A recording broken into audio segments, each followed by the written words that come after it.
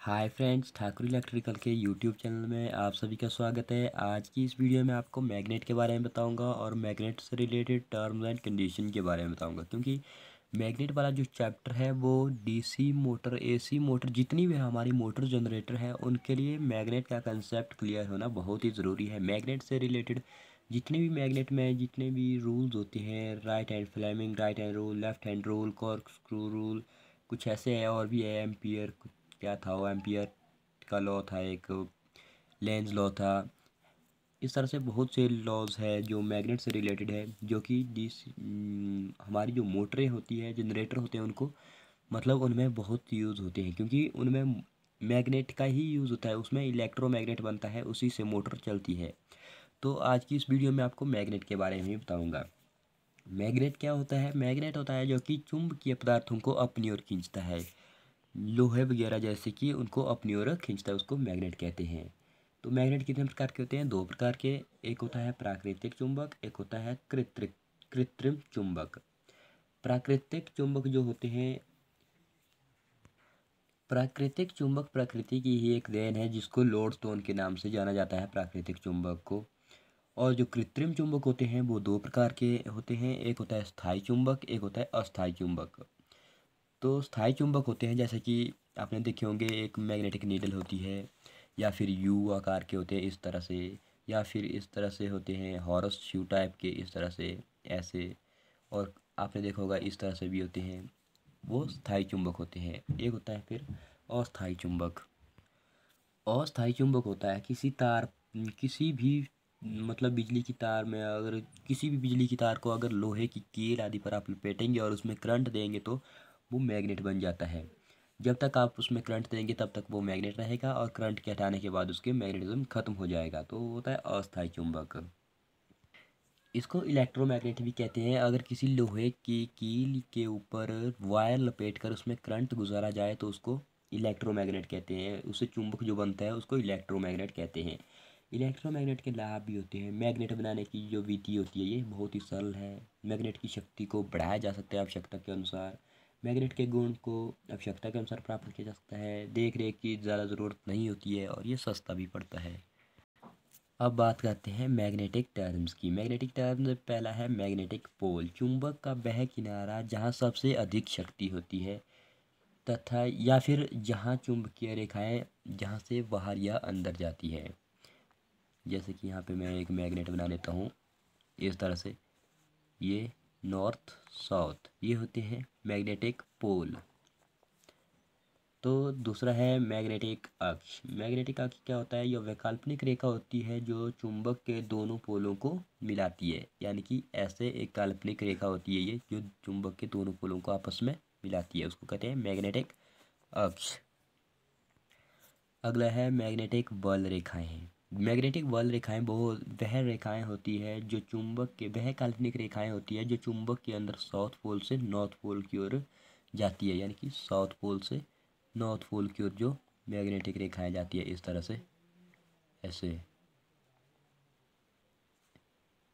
ये होती है मैग्नेटिक बल रेखाएँ, लाइन ऑफ़, जिसको बोलेंगे magnetic line of force.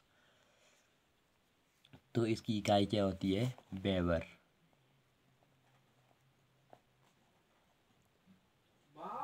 Magnetic line of force की इकाई होती है वेबर एक वेबर कितना होता है?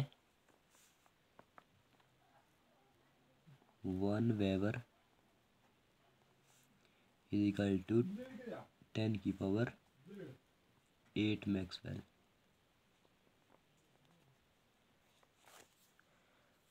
अगला है मैग्नेटिक फ्लक्स मैग्नेटिक फ्लक्स क्या होता है? चुंबक से निकलने वाली कुल चुंबकीय रेखाओं को फ्लक्स कहते हैं। जो ये चुंबक से north to south magnetic lines निकल रही है, इनको ही, इनकी कुल मात्रा को ही फ्लक्स कहते हैं। इसकी जो, इसका जो चिन्ह है वो क्या है? फाई है। इस तरह से इसको कहते हैं फाई और इसकी जो इकाई है वो है वेबर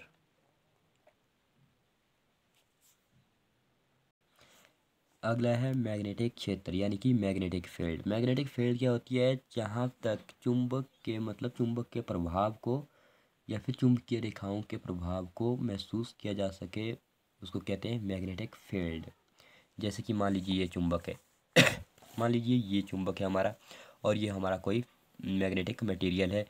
मतलब जहाँ तक इस चुंबक का एहसास हमारे को कि ये चुंबक इस मटेरियल को अपनी ओर खींच रहा है, उस एरिए को क्या कहेंगे? मैग्नेटिक फ़ील्ड कहेंगे जैसे कि इस मैग्नेट का एरिया इतना है, जैसे कि ये मैं जितनी भी रेंज तक इसकी जो मैग्नेटिक लाइन ऑफ़ फोर्स निकल रही है, उसको ही इसका मैग्नेटिक फ़ील्ड कहेंगे। ये इसका मैग्नेटिक फ़ील्ड है टोटल अगला है मैग्नेटोमोटिव फोर्स यानी कि इसको कहते हैं हम एम एम एफ़ जैसे इलेक्ट्रिकल में होता है ई एम एफ़ इसमें होता है एम एम एफ़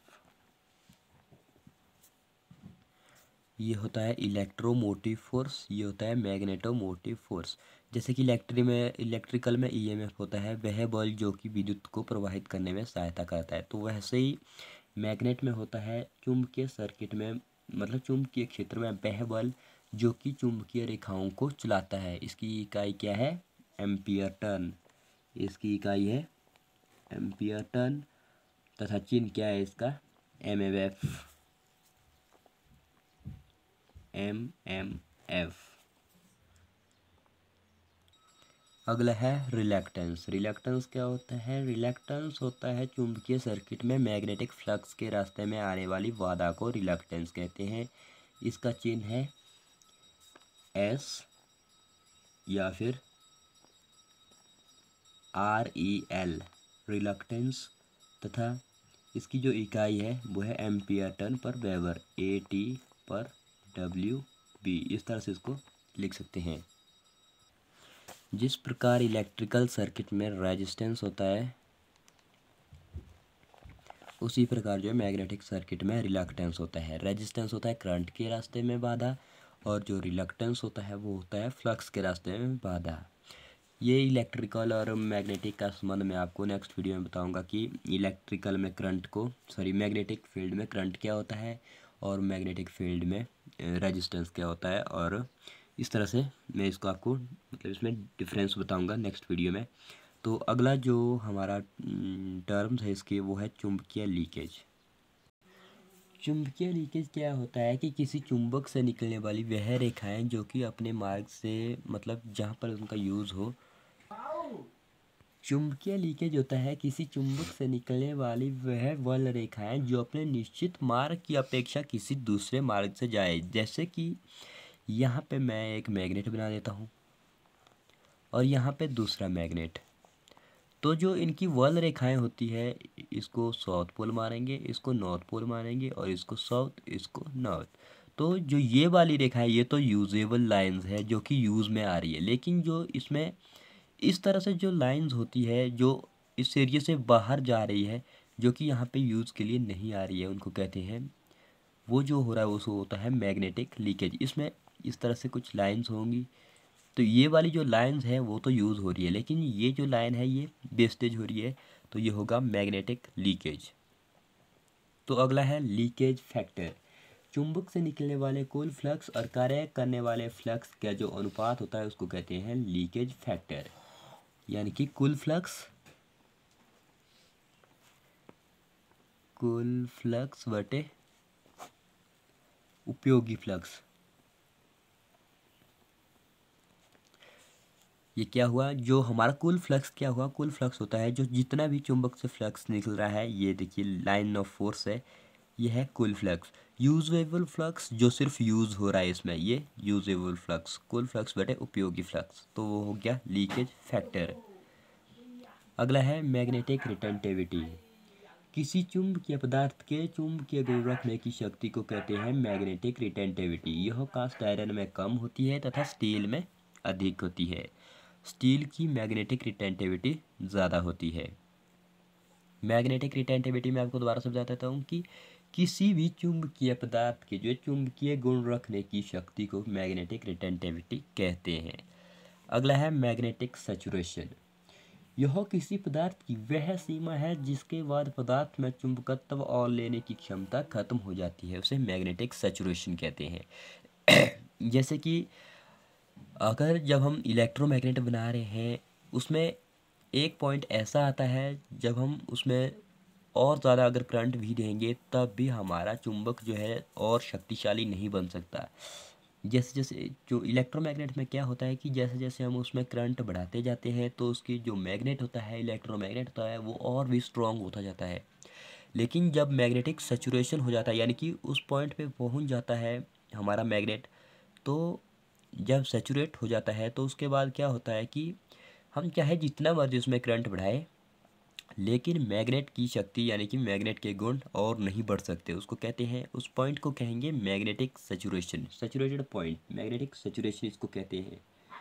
तो अगला जो हमारा टर्म्स है, वो है रेजिडुअल मैग्नेटिज्म रेजिडुअल मैग्नेटिज्म क्या होता है? जब हम किसी इलेक्ट्रोमैग्नेट को बनाते हैं, मान लीजिए हमारी लोहे की कील है, और इसमें हम वायर लपेटते हैं और उसमें करंट देते हैं तो क्या बनता है? इलेक्ट्रोमैग्नेट इलेक्ट्रोमैग्नेट में क्या होता है कि जब हम उसमें से करंट को हटा लेते हैं तो मैग्नेट के गुण जो है समाप्त हो जाते हैं। लेकिन जो मैग्नेट के गुण होते हैं, वो पूरी तरह से समाप्त नहीं होते हैं। उसमें फिर भी थोड़े बहुत मैग्नेट के गुण बचते हैं, जिसको कहते हैं रेजिडुअल मैग्नेटिज्म।